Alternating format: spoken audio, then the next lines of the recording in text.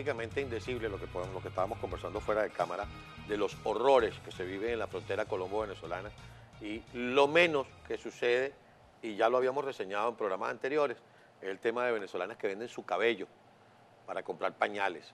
Se cortan el cabello y lo venden para comprar pañales. Pero hay algunas que hasta han tenido que traficar con su cuerpo para poder conseguir comida a precios que realmente uno dice, bueno, la prostitución de por sí ya es un tema, dicen que es la profesión más antigua del mundo, pues un tema de degradación humana, el tener que comerciar con su cuerpo para comer. Y eso es responsabilidad absoluta de estos 20 años de dictadura implantada por Hugo Chávez y continuada por Nicolás Maduro.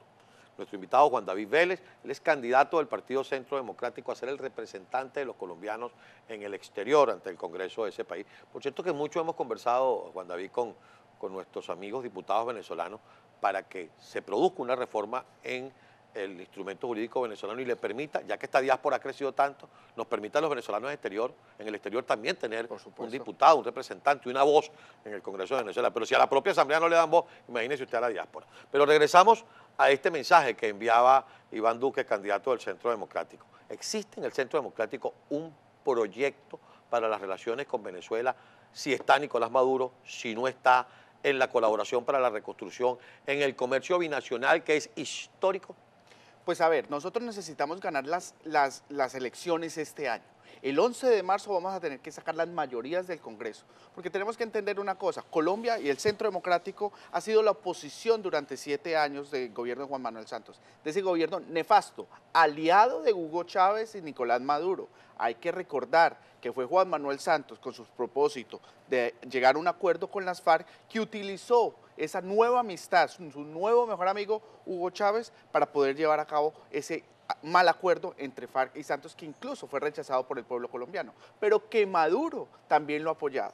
Entonces, ahora nosotros como oposición tenemos que enfrentar estas elecciones y llegar a las mayorías y también ganar la presidencia de Colombia. ¿Por qué es tan importante eso? Porque el triunfo del Centro Democrático, que es la esperanza de Colombia, también puede ser transmitido como la esperanza en Venezuela. ¿Por qué? Porque nuestra posición ha sido firme y coherente todo el tiempo. Pero en esas elecciones del 11 de marzo ya ustedes tienen 10 curules ocupadas. Están ocupadas por la FARC. Pero por la FARC, por supuesto. Pero por eso el llamado es a todos los colombianos a salir masivamente a votar y derrotarlos en las urnas. Porque tenemos esta opción y creo yo que sería la última. Existe un riesgo muy alto las, las, encuestas a la presidencia eh, dicen que el candidato que más porcentaje tiene y más opción hoy tiene es Gustavo Petro, un chavista declarado un chavista declarado, y nosotros no podemos permitir eso. Por eso tenemos que apoyar al candidato del Centro Democrático, a Iván Duque, que ha tenido unas posiciones frontales, que denunció ante la Corte Penal Internacional estos abusos de Nicolás Maduro y de toda su dictadura. Y por eso estamos apoyando y celebrando la decisión de la Corte Penal Internacional de abrir estas investigaciones, porque necesitamos que sancionen a Nicolás Maduro, que lo condenen, que exista la comunidad internacional esa presión para que caiga el régimen. y esa va a ser la posición del Centro Democrático en el gobierno. Yo, como representante de los colombianos en el exterior, que tenemos que recordar cuántos miles de millones viven en, eh, cientos de miles viven en, Venezuela aún. Es que se estiman que va casi un millón cien mil personas aún viven colombianos en Venezuela.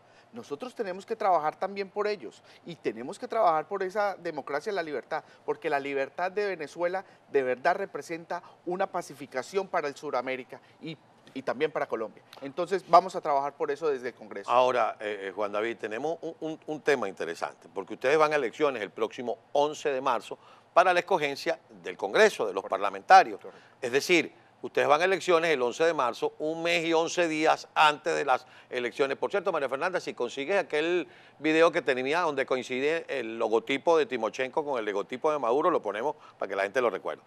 Un mes y 11 días antes de estas elecciones convocadas por Nicolás Maduro. El, el apoyo o no del Congreso colombiano a lo que pasa en Venezuela va a depender de esas elecciones. Porque si se logra desde el Congreso de Colombia una mayoría de la FARC y de, los seguidores de Juan Manuel Santos, ¿qué pudiera estar pasando? con esas elecciones del 22 de abril en, Colombia. Van a reconocer el nuevo gobierno de Nicolás Maduro. Van a reconocer la dictadura de Nicolás Maduro. Van a convalidar la dictadura nuevamente. Por eso nosotros estamos con una posición muy clara. Esas elecciones no son elecciones. Eso, que está convocando eh, Nicolás Maduro es simplemente la convalidación de su propia dictadura votándose él mismo.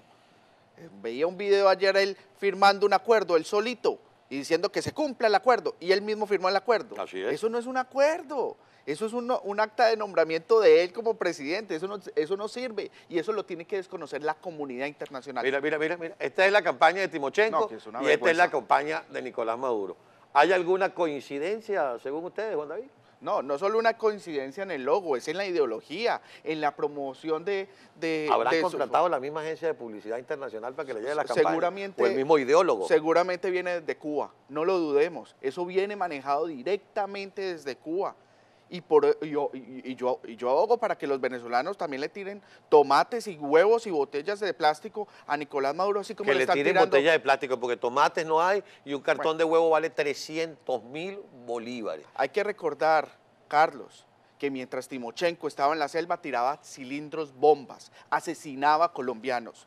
Hay que darle ese ejemplo de protesta pacífica contra esos delincuentes. y sabes que, pensaba, perdón que te interrumpa Juan David, pero es que yo pensaba cuando veía al presidente Santos diciendo, bueno, tiene que sacar el pasaporte e ir a unas oficinas para poder cruzar las fronteras de Colombia hacia Venezuela. Y la guerrilla colombiana iba, hacía, cometía sus fechorías en Colombia y de alguna manera tan campante rodaban para Venezuela y no se les pedía nada. El gobierno de Álvaro Uribe en el año 2010, bajo el mando de Luis Alfonso Hoyos, hoy perseguido por el gobierno de Juan Manuel Santos, Luis Alfonso Hoyos en la OEA denunció la presencia, con pruebas, lo probó, la presencia de las guerrillas y de los líderes de la FARC en territorio venezolano, cómo eran apoyados y albergados por la dictadura de Hugo Chávez.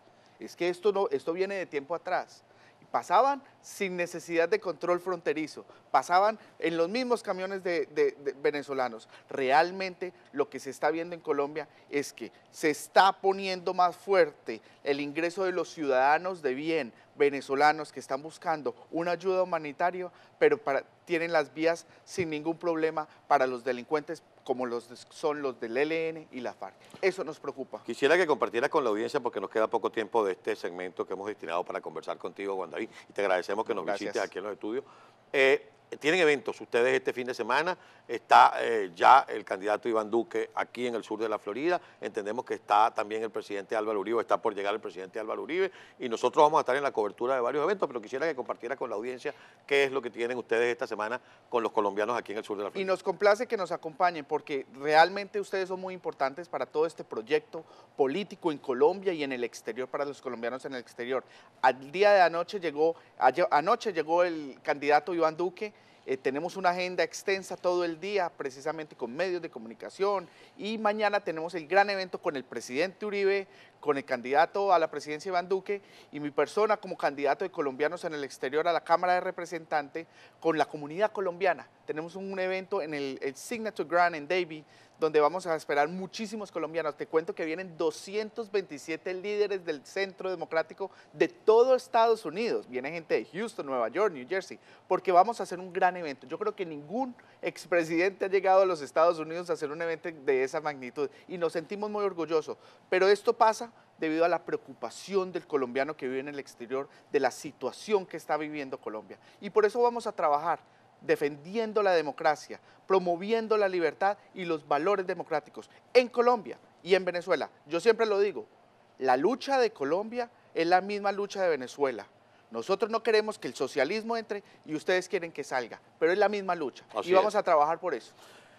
Para los colombianos que nos están viendo, porque sabemos que muchos se sintonizan EBTV porque lo que ocurre en Venezuela les interesa a los colombianos. El tema de la votación es el 11 de marzo. ¿Dónde van a votar los colombianos? Eh, eh, van, a, van a votar en el consulado. Ya se acabó el periodo para la inscripción de la cédula y poder participar en el proceso electoral parlamentario. Así es, pero las elecciones en el exterior tienen una ventaja. Se vota del 5 al 11 de marzo. Del 5 al 10 en el consulado directamente. En este caso, en el sur de la Florida en Coral Gables. En Coral Gables, en el consulado colombiano. Pero del el 11 pueden, los ciudadanos que tengan la cédula inscrita deben ir a su punto de votación en el sur de la Florida solamente hay siete puntos. West Palm Beach, Plantation, Weston, Hialeah, Kendall, Coral Gables y Sarasota. Esos siete puntos pueden ir el día domingo 11. Lo importante es invitar a todos los colombianos a salir a votar. Y es muy sencillo. Voten por el logo del Centro Democrático en los dos tarjetones. Senado, Cámara, logo del Centro Democrático. Y soliciten el, el tarjetón para la consulta del Gran Colombia, donde van a elegir por Iván Duque para que sea el candidato a la presidencia, porque tenemos una, una gran coalición con Marta Lucía Ramírez y con Alejandro Ordóñez, que esperamos nos acompañen en esta coalición, ya están unidos, pero que elijamos al candidato del Centro Democrático que va a llevar las banderas del Centro Democrático. Pero es muy fácil, a los tres tarjetones vote por el logo del Centro Democrático el, del 5 al 11 de marzo a todos los colombianos en el exterior. Y es importante entonces que los que son nuevos votantes en el exterior entren en la página del consulado y ahí está toda la información. Toda la información, incluso también en la página de Facebook que tenemos del Centro, Democrático, de Estados Unidos y también mis páginas personales, Juan David Exterior, Juan David Vélez toda la suerte del mundo. Nos vamos a ver este fin de semana en el evento porque EBTV estará en la cobertura para traerles a ustedes lo que ocurre acá en el sur de la Florida con la visita del candidato del Centro Democrático y del presidente Álvaro Uribe. Juan David, muchas gracias por acompañarnos. Esta es tu casa. Muchas gracias. Mucha suerte en Muy rico el café. electoral. Muchas gracias. Cuando llegó Juan David dijo, los colombianos toman tintico sin azúcar y bien calientito. Hacemos pausa. Enseguida estamos de vuelta con ustedes en la mañana más informativa de la televisión, la mañana EBTV.